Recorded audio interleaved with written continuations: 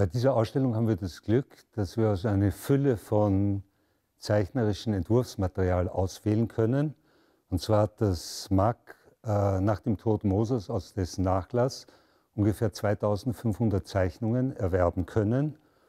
Und anhand dieses Bestandes können wir wirklich den künstlerischen Entwurfsprozess nachvollziehen und vor allem in einem Aspekt, den wir in der Ausstellung zum ersten Mal genauer bearbeiten oder behandeln, ist es die Entwicklung des modernen Ornaments.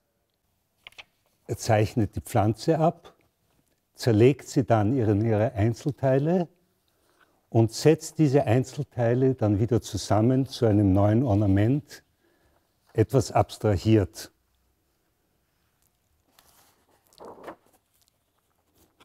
Wenn wir uns zum Beispiel dieses Blatt hier ansehen, ganz naturalistisch eine, eine Blüte und dann die einzelnen Elemente der Blütenblätter oder der Blätter in die Fläche gedrückt, in dieser Schwarz-Weiß-Zeichnung. Und wenn wir, das dann weit, wenn wir dann uns das anschauen, wie das weitergeführt wird, zu einem völlig neuen, äh, kurvilinearen, internationalen Jugendstilornament. Und schließlich dann der nächste Schritt wäre, das Ganze in die geometrische Abstraktion zu führen, wie hier zum Beispiel.